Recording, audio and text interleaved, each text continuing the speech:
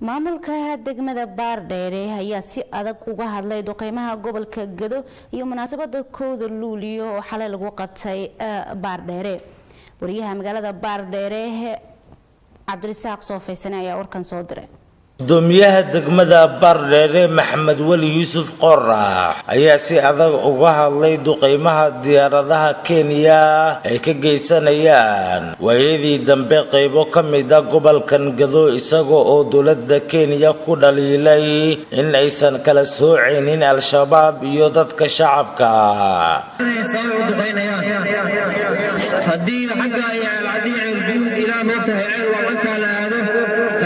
dib laga shito dadka xaafadada maraan dhammaantiin hawaal baad ka tihiin waxaan leenahay marka gumaystigu weli wuu jiraan laakiin waxaan leenahay ummaddan soomaaliyeed gaar ahaan dadka reer galbeed gumaysiga gol maaha waa dad waa shabaab baa waxaa ku jira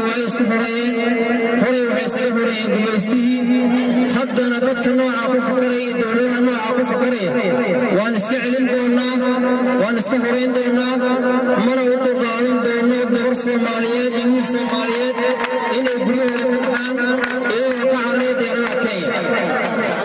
Waa u digaynaa kenyaanku waa u digaynaa nabad inaan ku wada noolaano derisnimo ku wada noolaano dowladnimo dowlad kenya dowlad soomaaliyeed oo derisaan ahaan un baan odan lahay annaga wixii kale iskaashi iscaawin weeye laakiin uma dulqaadan karno in maalin kasta wiil dhaawacay oo gabar dhaawacay meyd iyo xoolihii adlaysaan wax loo dulqaadan kara maaha dadka geda shabaab ma ahan shabaabka waa la yaqaana cidda la dirinaysa halkaa shatay ciidamada qalabkiisa ayagaa horkacayo cidda shabaab noo garabsiinaysa soo dhaweynaynaa laakiin in wiilashannada iyo gabdhahanaga hooyooyinkeen iyo dadka miyiga noo joogi tuulooyinka. Shabaab aad ka dhigtaan oo aad duqaysaan uma dulqaadan doono sidoo kale madaxa arrimaha bulshada degmada baardheere maxamuud ibraahim salaad faradheere ayaa isna ka hadlay duqeymaha oo ay dhibaato badan ku qabaan.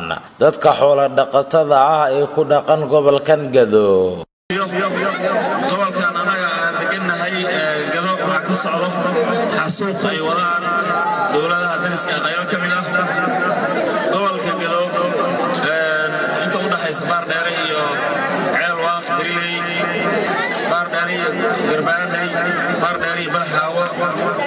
Ceel waaq iyo balxaawo ceel waaq garbaarey dhulka dhexeeyey oo macnaha miyiga ahaa iyo magaalooyinkii tuulooyinkii socda duqayn ay wado dowladda gafur culusta ee kenya habeen walba aan dab la shidan karin reemiga aysan dab aysan biriiqsan karin toosh aysan gefin karin oo walba la laynayo xaala ka socday habeen ka socday mar walba ka socda dhanka kale gudoomiye ku-xigeenka degmada baardheere faarax cabdinuur turba oo ka qayb galay xuska maalinta kowda luuliyo ayaa hambalyo u diray guud ahaan ummadda soomaaliyeed gaar ahaan shacabka degmada baardheere.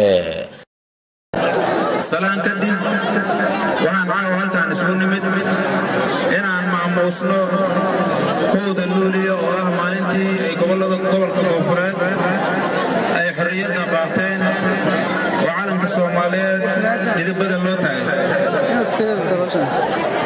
Sidaan wada ognahay waxaan ku soo jirnay usbuucii xorriyadda. Waa habeenkii ugu dambaysay ee usbuuca xorriyadda. Waxayna ka soo bilaabatay juun oo ahayd habeenkii ugu horreysay ee geyiga soomaaliyeed oo xora laga taago calanka soomaaliyeed oo buluuga ee hargeysa oo ay gobollada waqooyi xornimada qaateen. Waxaa kaloo labaatan iyo toddobadii aan soo dhaafnay ayna sidaasi la mid ah xorriyadda qaatay walaalahan reer jabuuti oo ayagana markaas gumaystihii faransiiska ka xoroobay labaatan iyo toddobadii bishaan hadda dhammaatay caawadan aan joogno waxay ku aasaysan tahay laba munaasabadood. Oo waaweyn oo ummadda soomaaliyeedna macno hadalkan ayay mas'uuliyiinta maamulka degmada baardheere ka sheegeen munaasabad lagu xusayey maalinta kowda luuliyo yaxya cabdirisaaq soofe r t n magaalada baardheere ee gobolka gado